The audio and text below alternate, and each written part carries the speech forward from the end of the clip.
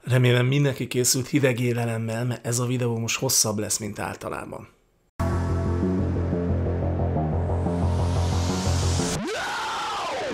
Na hello! Ez a nap is eljött. Kedves nézők, kedves feliratkozók, itt vagyok, válaszolni fogok a kérdéseitekre. Biztos, hogy ez egy nagyon hosszú videó lesz, az is biztos, hogy tele lesz vágásokkal, őzésekkel. Nézzük is az első kérdést. Egy fiú Közép-Európából írta, gondolom, hogy innen valahonnan Közép-Európából. Szerinted melyik ország a legélhetőbb, hol élnének szívesebben? Nem biztos, hogy a két halmaz egyezik. Tehát a, nem biztos, hogy ott élnék legszívesebben, ahol a legélhetőbb élni. Azt gondolom, hogy ahol még élhető országok vannak, az, az Nyugat-Európa, illetve elsősorban talán a skandináv országok. Viszont nem biztos, hogy én ott élnék, és amiért én nem élnék ott, nem a migránsok egyáltalán, hanem, hanem az egy speciális helyzet. Tehát én ugye újságírást tanultam, egy ilyen bölcsész diplomám van, tehát én ezzel, ez nagyon erősen a magyar nyelvhez kötődik, és ezzel én nem hiszem, hogy, hogy, hogy igazán jól meg tudnék élni, ugyanis ezt, nem, ezt a szakmát nem csinálhatnám csak magyarul, tehát következésképpen olyan szakmákat kéne vagy megtanulnom, vagy hát mondjuk tudok masszörködni, de ez már volt egy kísérlet erre vonatkozóan, hogy, hogy én Németországba kimegyek, vagyis legalábbis egy gondolatkísérlet volt, és rájöttem, hogy ugye nekem Münchenbe lett volna lehetőségem élni, mert a nevelőapám ott élt, sajnos már nem él, és, és én Münchenben nem tudtam volna megélni ebből. Münchenben olyan, olyan iszonyatosan magasak az ingatlanárak, hogy, hogy képtelenség egy, egy, egy masször fizetésből például ezt kitermelni. Úgyhogy, úgyhogy én bármennyire is szeretnék Nyugat-Európában vagy Észak-Európában élni, valószínűleg csak olyan színvonalon tudnék ott élni, amely színvonal nekem nem biztos, hogy, hogy elég, vagy így fogalmazzak. Tehát nem biztos, hogy azt az életet tudnám élni, amit most élek, mert az igaz, hogy anyám fölött lakom a tetőtérben, de azért ez a tetőtér, azért itt, még, és még kész sincs teljesen, de azért van egy, hát majd a kész lesz, megmutatom nektek, itt van egy 35 négyzetméteres nappali, ekkora volt a Marina Parti lakásom Pesten, amit eladtam, 35 négyzetméter, csak mondom, és körülbelül egy ekkora lakást tudnék esetleg Münchenbe kibérelni, ezt is nehezen. Úgyhogy uh, itt pedig hát ezen a nappalin kívül azért még van elég nagy tér, uh, és ez csak a lakás. Tehát uh, azt gondolom, hogy uh, ha egy, ha egy normális szakmám lenne, mondjuk orvos lennék, vagy mérnök, akkor nem gondolkodnék. Vagy programozó mondjuk, akkor biztos, hogy nem gondolkodnék azon, hogy, hogy Észak vagy Nyugat-Európába kell menni. Amerikában megint csak nem élnék szívesen, mert, mert nem szeretem igazából a Amerikát, mondjuk így. Nem, nem kedvelem. Az amerikai filmeket igen, de mégsem élnék ott. Mint már említettem egy videóban, azt hiszem, de lehet, hogy több videóban is, hogy ugyanakkor nagyon szívesen élnék tájföldön, miközben gyűlölöm a meleget nem szeretem a meleget, és mégis, mégis nagyon szívesen élnék ott, és most mindenki azt gondolja, hogy a, a nők miatt, pedig de, nem, de részben igen, tehát nyilvánvaló, hogy ott egy olyan ember, aki itt, mondjuk egy olyan csávó, aki itt, itt a tízes listán, vagy a tízes skálán egy ötös, az ott hetes vagy nyolcas. Legalábbis én így hallottam. De nem csak emiatt, hanem, hanem az egy nagyon izgalmas ország, állítólag nagyon jó a kaja, nagyon szép tájaik vannak, ugye tájföldnek nagyon szép tájai vannak, és a buddhizmus is egy elég, elég vonzó faktor, úgyhogy én nagyon, nagyon szívesen, nagyon szívesen élnék tájföldön. Egyébként arról nem tettem le, hogy tájföldre kimenjek videózni, tehát ugye egy időre, egy időre kimenjek, csak ugye ez is nagyon sok pénz, meg ugye jó lenne, ha nem lenne Covid, mert így Covid időszakban ez így viszonylag problémás kiutazni. Remélem kielégítő választ kaptál a kérdésre. Krisztina L. Ő az egyik kedvenc feliratkozó, meg hogy vajon. Tervezel esetleg nagyobb terjedelmű videót, hanganyagot, kevésbé feszes szerkezetű, lazább, beszédősre gondolok, szívesen hallgatnálak. Néha UI, azt gondolom nem az utóirat, hanem az ugyanis, hosszabban is. Hát igen, most is ezt csináljuk, de láthatod, hogy milyen, tehát, hogy nem jó. Én nem igazán vagyok jó ebben szerintem. Úgyhogy Én megírom a szövegeimet általában, aztán, ja, megpróbálom valamilyen szinten előadni, mintha spontán úgy jönne, de rohadtul nem spontán. De egyébként nagyon sokan csinálják ezt, tehát a Dancsótól a Pottyandig bezárólag, és még, még nagyon sokan ezt művelik. És ez nem véletlen. Én szerintem sokkal kevésbé unalmas, meg sokkal jobban ott tartja a nézőt talán a, a monitor előtt. Szabó, Szabósz Lifestyle. Mikor csinálunk közös videót? Ja igen, erre válaszoltam már. És azt válaszoltam, hogy majd kitaláljuk. És van is egy ötletem erre, úgyhogy majd, majd ö, el fogom neked küldeni, hogy mi lenne. De az biztos, hogy nem, amit javasolsz. Tehát ez, hogy mi tegyünk, milánói bordát tegyünk, ez, ez, ez, szerintem ez nem, ez nem az lesz, amiben én benne vagyok, viszont van valamilyen ötletem, ami kapcsolódik a te csatornádhoz is. Lesz egy ilyen videóm, és akkor erről beszélhetnél te is, meg én is rólad, meg te is rólam, stb. stb. Tehát ez, ezt még kitalálhatjuk, csak az nem, nem ez lesz, amit javasoltál. De nyitott vagyok, meg amúgy is úgy érzem, hogy most jutott el a csatorna arra a szintre, hogy hogy érdemes nyitni más csatornák felé, és együttműködni, és egy kicsit hirdetni egymást, mert ez az egyik módja annak, hogy a dévvilágából egy nagy YouTube csatorna legyen, amit nagyon szeretnék, és nem csak ez az, az egyetlen módja, a másik az, hogy megosztjátok a videókat, mert egyébként az, azt tudom javasolni mindenkinek, hogyha szeretne nekem segíteni, és biztos, hogy vannak ilyen elvetemült emberek, akkor az tök jó lenne, hogyha megosztanátok minél több videómat, főleg amik tetszettek, mert hogy, mert hogy így lehet növekedni a YouTube-on. Ja. Vagy hogyha olyan embernek vagy a párja, aki már eleve híres. Az a másik módja. Van itt egy ilyen kérdés, hogy mikor lesz már gameplay? Hogy lenne itt gameplay, amikor ez egy közéleti, meg, meg néha bulvár témákkal foglalkozó csatorna? Egyébként, aki ezt írta, valamire ráérzett, mert volt egy ilyen tervem, csak nem tudom, hogy ezt ő honnan tudja, mert én egyébként szeretek játszani. Uh, általában fifázok, de, de van, van ilyen VR headsetem is, ilyen Oculus, és azon is szeretek játszani. Half-Life-ot például, bár azt meg játszottam. Szóval a lényeg, hogy hogy nekem volt egy ilyen tervem, csak az, az egy másik csatorna lenne. Mert e- erre a csatornának gameplay videókat hülyeség feltölteni, mert, mert már az is sok volt nektek, amikor a bulvárt elkezdtem. Pontosabban, dehogy is, mert nem bulvár videók voltak ezek, mert az lenne igazán bulvár videó, hogyha magánéletről lenne szó, a celebek magánéletéről, és jó, egy ilyen volt a Mészáros Várkonyi. De igazából én nem a magánéletükről beszélek, hanem arról a hatásról, amit gyakorolnak az országra, az emberekre. És talán ilyen alapon kritizálom őket leginkább. És ez már is sok volt sok embernek. Tehát az, hogy miért tényleg térek le arról az útról, nem indultam, gondolom, a, mert nem írták le pontosan, de gondolom az az irányváltás nem tetszett nekik, mert így írták, hogy, hogy ha ebbe az irányba mész tovább, akkor én nem tudlak követni, és tudom, ilyeneket kaptam. Szóval a lényeg, hogy, hogy azt kifogásolták, hogy én hogy én ebbe az irányba megyek el. Tehát gondolom az volt a probléma, hogy nem a közéleti politikai tartalom. De mint mondtam, szerintem ez is, egyébként ez is politika abban az értelemben, hogy ez is a közösségünkről, Magyarországról szól. És rólunk szól, és egy nagyon erős kritika van, például a Varga Irénes videóban is, mert az is rólunk szól, az nem Varga Irénéről szól az a videó, elsősorban rólunk, magyarokról, a közönségről, és szerintem erről beszélni kell.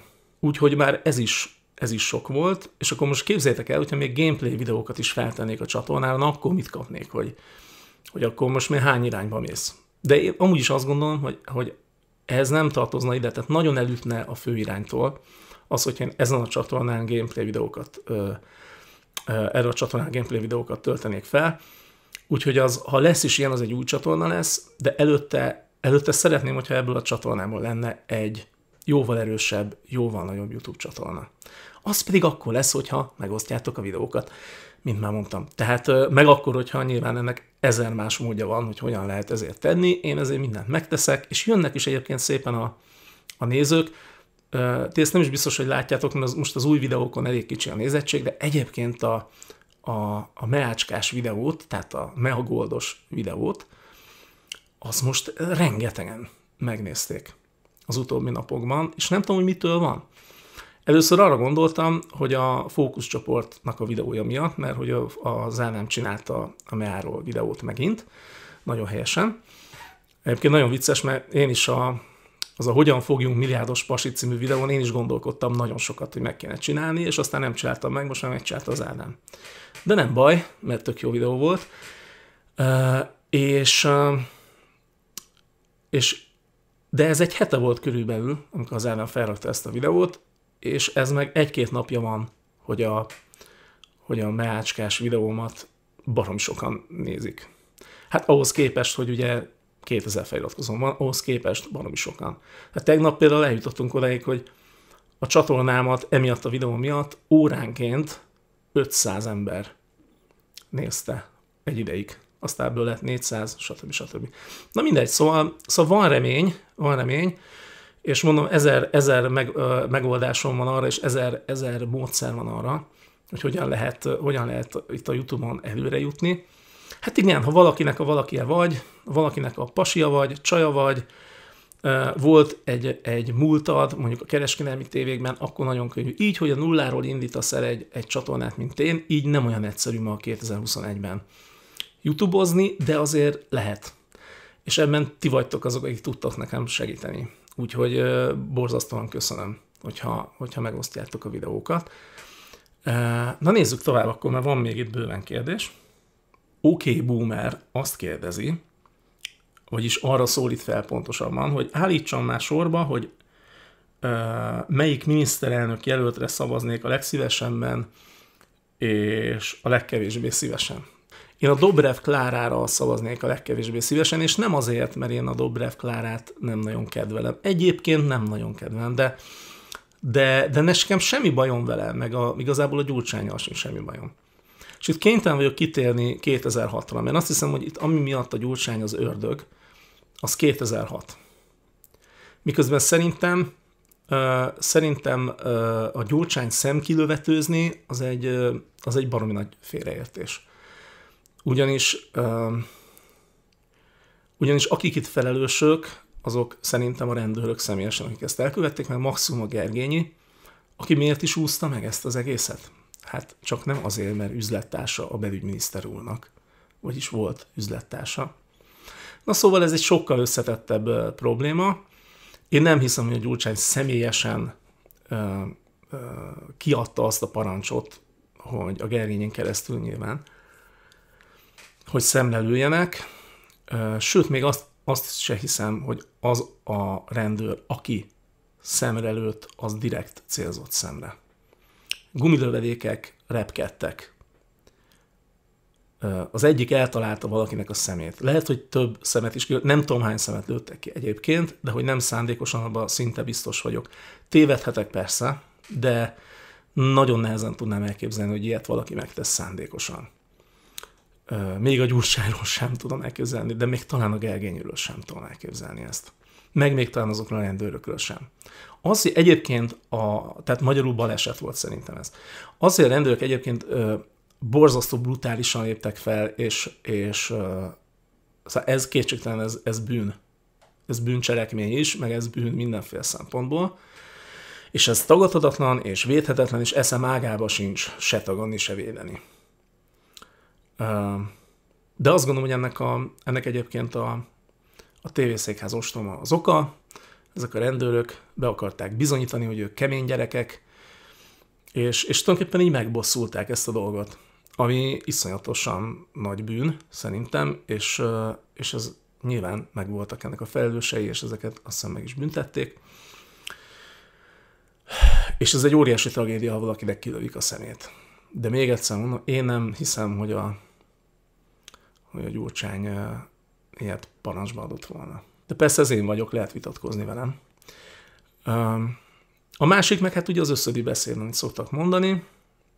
Az összödi, összödi beszéde meg basszus, az a Orbán Viktornak is volt, hiszen azt mondta, hogy azt tessék nézni, amit csinálok, és ne azt, amit mondok. Szerintem ez azt jelenti, hogy hazudtam az én felfogásomban. Ez ezt jelenti. Egyébként nem tudom, meglepődött valaki, amikor kiderült, hogy a politikusok hazudnak? Mert, mert én abszolút nem lepődtem meg. Úgyhogy És akkor mi van még a Gyurcsány? Gyurcsányról azt szokták még mondani, hogy rosszul kormányzott. Na hát ez tagadhatatlan. Sok hülyeséget csinált, minden héten leadott valami baromságot, amiből nem lett semmi. Oké, okay, meg kellett, hogy bukjon. Rendben van. De ne, én nem látom őt egy olyan sátáni szereplőnek a magyar politikában, mint ahogy azt a Fidesz próbálja elhitetni az emberek, meg hát nem elhitet, el is hitette. Nagyon sokan így gondolják. Én ezt nem osztom. Ennek ellenére azt gondolom, hogy Dobrev Klárával nagyon nehéz nyerni. Legalábbis ez a papírforma, és ezért van nálam ő az utolsó helyen. De most az utóbbi napokban elgondolkodtam azon, hogy ha Dobrev Klára mégis valahogy megnyeri ezt az előválasztást, akkor el tudom képzelni azt, hogy egy, egy hatalmas erődemonstrációt fog tartani, és ne felejtsük el, hogy Magyarországon a választók az erőt tisztelik. Sajnos csak az erőt tisztelik. És ott a Dobrev Klára környékén az van. Az van, elég sok. És a Fidesz is úgy gondolkodik most, mint nagyon sokan, hogy a Dobrev Klára nem nyerhet, és ezért, ezért van stop Gyurcsány, stop Karácsony, és nem nem stop Gyurcsány, stop Dobrev. Ugye? Ami, ami hihetetlen szerintem, hogy annyira adná magát, hogy stop Gyurcsány, stop Dobrev, de ez nincs. A karácsonyt csesztetik, nem a Dobrev Klárát. Tök egyértelműnek tűnik a számomra, hogy a Fidesz arra játszik, hogy a Dobrev Klára nyerjen. És lehet, hogy ezzel pont azt érik el, amire nem számítanak, hogy a Dobrev Klára úgy megerősödik, és annyira ö, olyan komoly erőt fog mutatni a kampányban, ami visszafordíthatatlan lesz, és lehet, hogy, lehet, hogy egy csomó ember rá fog szavazni, hogy tudod mit, Viktor, ha ezt így összehoztad nekünk, hogy akkor a Dobrev, jó, legyen a Dobrev.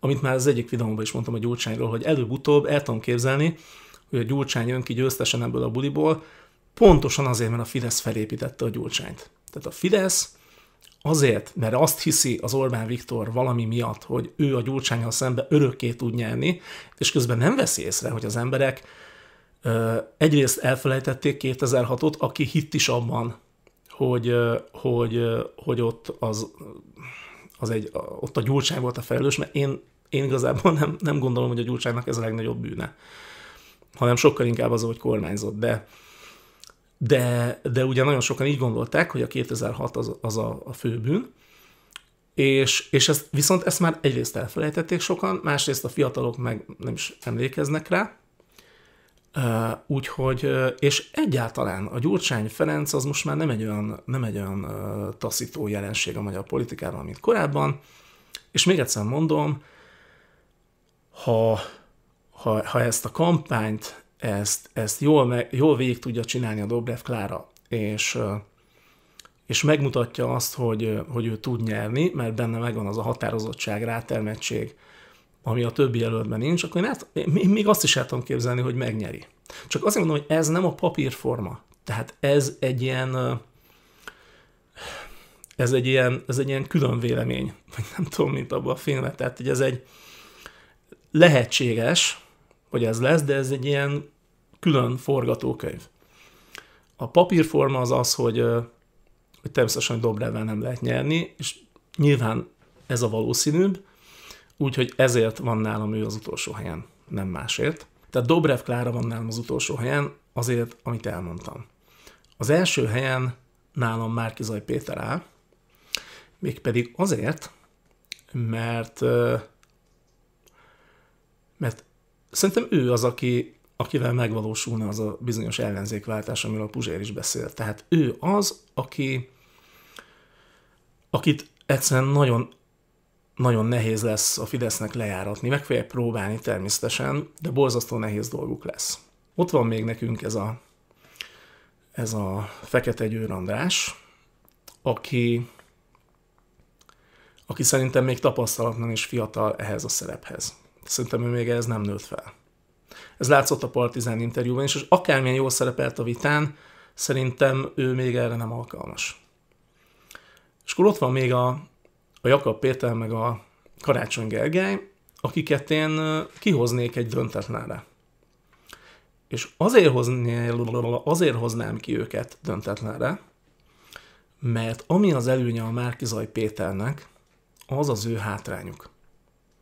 Nevezetesen, hogy úgy érzem, hogy mind a ketten, tehát Karácsony Gergő és, bocsánat, Gergely, és Jakab Péter is, és ezt annak ellenére mondom, hogy én, a párbeszéd nevű pártban benne voltam egy időben, és nekem nagyon szimpatikus a, a Gergely, a Gergő, mint ember, és mint politikus is, szerintem nagyon jó politikusnak tartom, csak az a probléma, hogy Tóth Csaba. A Jakabbal meg az a probléma, hogy jobbik. És nekem mondhatják, hogy, hogy néppártosodott a jobbik. Nekem mondhatják. Valószínűleg egyébként ez így is van részben. Tehát a Jakab és a környezete az abszolút nem szélsőséges, de nekem, nekem nem tudják beadni azt, hogy az egész jobbik most már akkor ö, középen van, és nincsenek benne szélsőségesek. Hát basszus, ott a bíró, ott van, a, aki listázni akart a parlament, a Gyöngyösi Márton. Ezek az emberek ott vannak legjobb tudomásom szerint. Ha már nem, akkor írjátok meg, mert akkor lemaradtam róla, de szerintem ott vannak.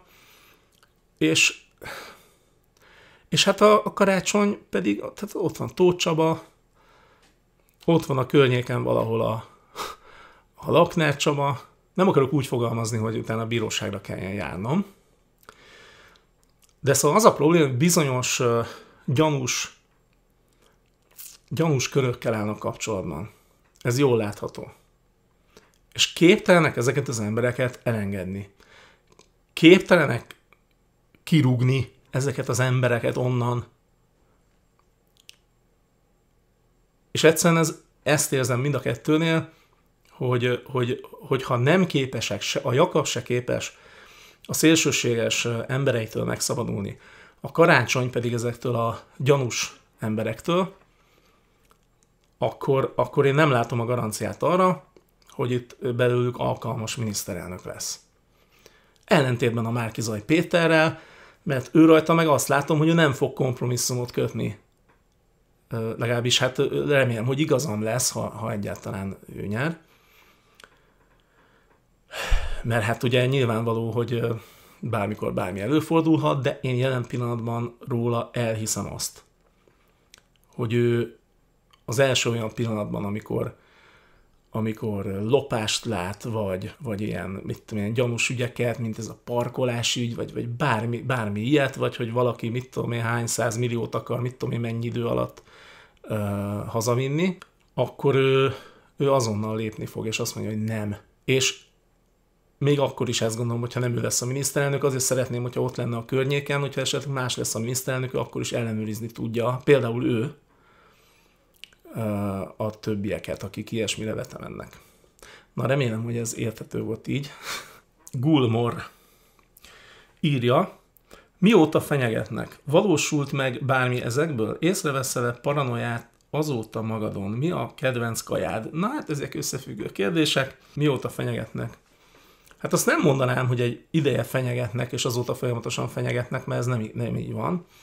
Természetesen kaptam már fenyegetéseket az életben, Amióta a YouTube csatornám van, azóta főleg az ilyen foci ultrák szoktak nekem mindenféle érdekeset, érdekeset írni.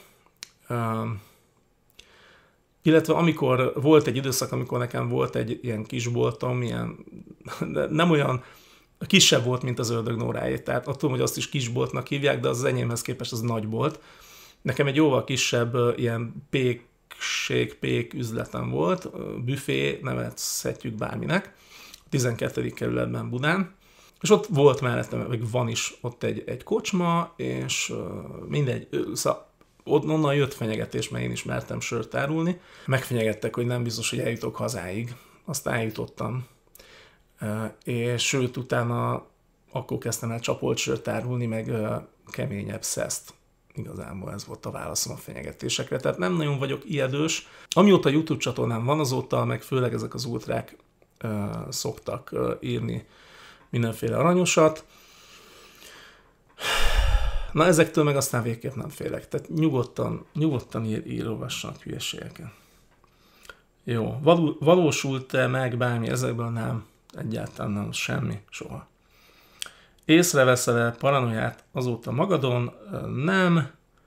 Mi a kedvenc kajád? Van itt a közelben egy hely, egy ilyen kávézószerűség, ott szoktam enni mindig gomolya sajtos csirkés salátát, nagyon-nagyon finom. De egyébként nagyon szeretem a mozzarella sajtot paradicsommal és bazsalikommal. Meg nagyon szeretem a tiramisút, meg nagyon szeretem a tatárvízteket, a lazacot. Most nem azért, mert nem vagyok burzsúj, de a lazacot meg a kaviárt is, a, de csak orosz kaviárt, tehát ezt a kis szemű rettenetet, ezt nem. Tehát csak a nagy szemű orosz kaviárt, ami, mit tudom én, 20 ezer forint egy adag, vagy nem tudom most mennyi, mert egyébként nagyon régóta ettem olyan. A lazac azért tűrhető árban van, azt azt meg lehet, be lehet szerezni. Ja, meg a bélszint nagyon szeretem, de csak a picit véres. Úgyhogy jó olcsó kajákat szeretek. De az nem azt jelenti, hogy ezeken élek természetesen, tehát azért van, van krumpli főzeléktől kezdve minden hülyeség, amit de amúgy az is tök jó, tehát igazából nem. Most azt kérdezted, hogy mi a kedvencem, hát ja, ezeket szeretem nagyon. Milyen ideológiát vallasz? Hát nem tudom, szerintem bal, baloldali vagyok, progresszív adózásban hiszek, sőt, hiszek, hát azt támogatnám, ha, ha lenne rá esély.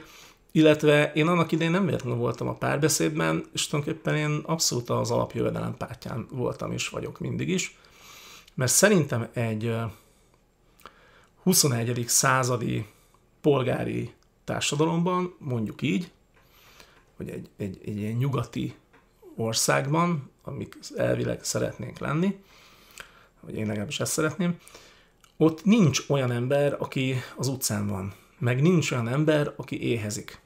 Tehát az, hogy van kaja, meg van lakás, ez szerintem alanyi jogon kéne, hogy járjon. Tudom, hogy ez borzasztóan hangzik, mert akkor hogy fog büszkén, egyenes gerincel végigmenni az utcán a középosztály, ugye? Hogyha nem lát hajléktalanokat, mihez tudja magát hasonlítani, hogy érezheti a picit gazdagabb, hogy ő most egy picit gazdagabb, mert hogyha nem lát szegényeket, ugye? Ez, tehát nem is ér annyit a vagyon, hogyha mindenkinek van, igaz? Na most én ebbe rohadtul ö, nem értek egyet, szerintem, szóval én megnyugodnék attól, hogyha nem látnék hajléktalanokat, és megnyugodnék, hogyha ha senki se éhezne, meg senki nem keresne, mit tudom én, 150 ezer forintot, mert hogy nagyon sokan keresnek ennyit. Egyébként tök mindegy, mit mondanak, hogy mennyi az átlagfizetés. Én nem is olyan régen voltam gyógymasször egy hévízi szállodában, és én tudom, hogy mennyit keresnek az emberek. Na, tudom. Tudom. Oké, okay, jó. Lépjünk túl ezen szerintem, felhúzom magam. Mondjuk baloldali vagyok, de természetesen a szabadságot is nagyon kedvelem, meg, meg abszolút a szabadságban is hiszek, tehát én értem meg liberális vagyok, meg azt gondolom, hogy senkit se csesztessen az állam azért, mert milyen életet él amíg törvényben nem ütközik. De hát manapság már nagyon sok minden törvénybe ütközik, lassan tényleg az is, hogy az ember kivel bújik ágyba, az is törvénybe ütközik. Úgyhogy most nem tudom ezt megmondani nagyjából, hogy, hogy mit vallok. Egy biztos, hogy nem azt, amit a NER. Mi a bajod a mi hazánkkal? Hát ez a kérdés, ez komoly amúgy? Mi a bajom a mi hazánkkal? Az, hogy fasiszták, meg az, hogy Orbán csicskái. Nagyjából ennyi. Más nem, amúgy. Gondolkodtál a családalapításon? Igen, ezen az ember gondolkodik, de az a probléma, hogy nem volt olyan kapcsolatom még, vagy hát egy volt, egy olyan volt, egy olyan nővel találkoztam eddig életemben, akiről úgy igazán szívből el tudtam volna képzelni, hogy a gyerekeim anyja legyen. De az a helyzet, hogy ahogy ma elnézem, amit csinál, már róla se. Én nagyjából a családalapítást azt így félig meddig el is engedtem. 40, mennyi vagyok? 43 éves vagyok. Valaki azt írta egy gonosz kommentelő, hogy 45, de ez nem igaz, kikérem magamnak, 43. Az még fiatalabb. És hát ez a jó abban, ha férfi vagy, hogy még egy picivel több időd van, mint ha nő lennél.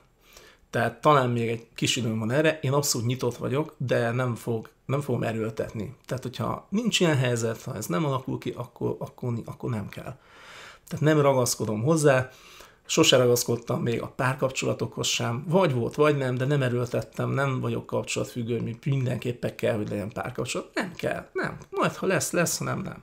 Úgyhogy ennyi. De mondom, nyitott vagyok, meglátjuk, hogy mit hoz az élet. De az se tragédia, hogyha nem lesz gyerekem. Hát előfordul manapság. Egyébként meg, ahogy elnézem a világot, hogy merre haladunk, lehet, hogy jobban járnék, ha nem lenne. De majd ez, ez is eldől. Ettől még lehet, hogy lesz és nem a pot, gondolom ez a Potyondiadinak nem sikerült leírni a nevét, de gondolom ez a Potyondi Edina akar lenni. Nem az én nejem a Potyondi. Én úgy tudom, hogy a, a Kövér Lászlónak a, a neje, nem? Vagy rosszul, rosszul tudom? Szerinted miért nem vállalja fel egymást P-E-P-R? Ki lett az a PR? Én nem tudom. Én nem tudom. Én erről nem hallottam hivatalosan semmit, úgyhogy erről nem beszélhetek, gyerekek. Na aztán itt mi ez, hogy elnyomott nő adásába belerakni. Na jó, e- ezt, ezt, aki ezt érti, az írja meg, hogy ez mit jelent. Az elnyomott nő adásába belerakni felkiáltójel, mert a 50 plusz kiöregedő ex-survivor túlélőt oda rakni. Ez a komment. Hát kedves Drew valami, mert nem tudom, a három pont van utána, most mobilon olvasom. Én nagyon szeretlek, de nem tudom értelmezni a kommentedet, legalábbis a második felét, az, meg az elsőt sem nagyon, illetve de az elsőt tudom. Csak én nem, hogy mondjam, hát a potyondi kinek a csaja? Na. Kövér Laci, nem? Attila. Az a baj, hogy amikor én mobilon nézem, a, olvasom a kommenteket, akkor csak az elejét látom a neveknek, úgyhogy, és nem mindenkit jegyeztem meg, sajnálom. Szóval valamilyen Attila azt mondja, szia, jók a videók és érdekes meglátásaid vannak, nagyon szépen köszönjük, köszönöm. Mármint én és a kis tehén ott mögöttem, és senki nem kérdezte meg, ki a kis tehén. A kis tehén az az őrangyala a csatornának. Úgyhogy ha valaki negatívakat kommentel, vagy nekem ront, a rémálmaiban ő fogja lekakilni. Csak mondom. Szóval jók a videók, és érdekes meglátásaid vannak. Na a kérdés. Erre elsötétül. Na a kérdés. Szerinted ez az ellenzék nem a fizes, mondom ez a Fidesz lesz, bűntása? Most komolyban, mert eddig csak oda sikerült terelni a vizet. Nyilván a szavazók a víz. Tehát, hogy bűntása az ellenzék. Na az a probléma, hogy már megint úgy beszélünk, hogy az ellenzék. Szerintem ilyen nincs, hogy az ellenzék, hanem van, van az ellenzéken belül, vannak olyan emberek, akik igen, bűntársak. És vannak, akik pedig hát nem annyira, sőt, akik ezt az egészet meg akarják változtatni. Szerintem nekünk embereknek, vagy olyanoknak, akik szeretnék ezt a kormányt leváltani, az a dolgunk, akik rendszert is szeretnék váltani, főleg, az a dolgunk, hogy olyan embereket küldjünk oda, egyre többet, akik ezen változtatni szeretnének. Tehát be kell küldeni az ellenzékbe például a Márkizaj Pétert. De mondhatnám, ilyen értelemben mondhatnám tulajdonképpen Mondhatnám a Fekete Győrt is, a Jakabot is például, de még, még, még talán a Dobrev Klárát is. Egyébként én, gond, én azon gondolkodtam még régebben, hogy, hogy amikor nagyon tele volt a tököm az Orbánnal, hogy én belépek a DK-ba, aztán rájöttem, hogy, hogy két hét alatt kiraknának onnan. Hát én tuti, hogy lenne valami a gyurcsánya kapcsolatban, amikor én felelném azt mondom, hogy hülyeségeket beszél, vagy mit tudom én, és akkor abban a pillanatban röpülnék. Tehát én, én ott nem élném túl két hétig. Ez biztos. Pedig egyébként nagyon jóban voltam DK-sokkal, mert én, amikor én indultam már a 13. kerületben, aki nem tudná, mint ilyen párbeszédes DK-s, mindenféle támogatottsággal, de nyilván elsősorban párbeszédes jelölt, és én ott tök szimpatikusak voltak a DK-sok. Tehát én, én amúgy bírtam őket. Csak ott, ott kus van, hogyha ha neked bármi bajod az elnök úrral kapcsolatban lenne, mondjuk vagy te másképp látnál dolgokat, én nem hiszem, hogy ottan nagyon lehet ugrálni. Úgyhogy az nem nekem, az ilyen szekták azok nem nekem valók, mert uh, róla már középiskolában megmondta az egyik tanár, hogy én vagyok az örök lázadó. Úgyhogy inkább hagyjuk a dékát. Ja, tehát vannak az ellenzékben bűntársak, de nem az egész ellenzék. És attól, hogy otthon maradunk és nem szavazunk, addig, amíg nem jön egy olyan ellenzék, amivel, és addig én nem szavazok senkire, na, így nem fog jönni ellen, olyan ellenzék soha. Így nem lesz alternatíva. Mert így az lesz, hogy mindig a Fidesz nyer. Alternatíva akkor lesz, hogyha ezt az ellenzéket megváltoztatjuk. És az az kell, hogy olyan embereket küldjünk oda, akik mások, akik újak, akik nem hajlandóak például lopni. Szerintem ez egyetlen megoldás erre. Más nincs. Mert ez az ellenzék van, ebből kell főzni. És ki kell szorítani az olyanokat, akik akik mondjuk a régi módszerekhez ragaszkodnának. Elérkeztünk az utolsó kérdéshez, ami így szól. Péter Varga, feltételezem, hogy Varga Péter. Milyen dioptriás a szemüveged? Mióta hord a szemüveget, és azóta mennyire romlott? Gyerekkorom óta hordok szemüveget. Többször romlott a szemem, és fogalmam nincs, hogy hány dioptriás. Annyit mondani, hogy szemtengely feldülésen vagy micsodán van. Igazán nem tudom, hogy pontosan mi baj a szememnek, nem is érdekel. Annyit tudok, hogy amikor romlik egy kicsit a látásom, és ez, mit tudom én, x évenként, 5-6 évenként nagyjából szokott valamelyest romlani, akkor én fogom magam, bemegyek a szemészetre, ott felmérik, hogy milyen szemüveg kell, nekem azt megcsinálják, választok valami nagyon szép új keretet hozzá, és csókolom, hazamentem, köszöntem szépen. Tehát nagyjából ennyi a, ennyi a történet. Amit most láttok, az nem egy videótrükk, nem is most öltöztem át, hanem az van, hogy kimaradt egy kérdés a videóból, amit tegnap vettem fel, amit most láttok egyébként. Szóval, hogy most már másnap van, tehát ez egy időutazás, mert most pótolni szeretném azt az egy kérdést, illetve a kérdésre adandó választ most fogom elmondani. Elmegy egy repülő, nem tudom, behallatszik-e, én hallom. Na jó, szóval akkor megválaszolom a, azt a kérdést, ami kimaradt a videóból. Fogalmam sincs, hogy hogy hagyhattam ki, mert itt volt. No, Cibujás Ádám kérdezte egyébként, elég lényeges kérdés szerintem. Nem fogalmazódott meg bennem eddig kérdés, de most elgondolkodtam, hogy szerinted, és itt a közösségnek is passzolom a kérdést. Az a korrupció, ami sötét kis hazánkat már legalább 30 éve emészti, honnan jön? A társadalom fertőzi a pártpolitikát, vagy a pártok a társadalmat? Illetve ha látsz, miben látsz valamiféle megoldást erre a helyzetre, azon kívül, hogy edukálni kellene az embereket. Hát, figyú, a korrupciónak nagyon mély gyökerei vannak ebben az országban. Most értelmezik a korrupciót a lehető legtágabban. Ezer formája van, és nagyon-nagyon régóta velünk van. Én nem látok arra esélyt, hogy 10-20 vagy 30 éven belül Magyarországban egy, egy normális polgári társadalom váljék. Szerintem ez az ország korrupt fog maradni még egy nagyon jó ideig. Eh, amire van esély, az az, hogy a, a politikai elit ne lopjon annyit, amennyit most. Erre látok esélyt. Meg arra is látok esélyt, hogy ezt a folyamatot elindítsuk. Hogy hogyan lehet ezt elindítani, hogy mi a megoldás, meg ezt is kérdezed egyébként, hogy, hogy látok-e, látok erre a helyzetre megoldást, igen, le kell váltani a NERT.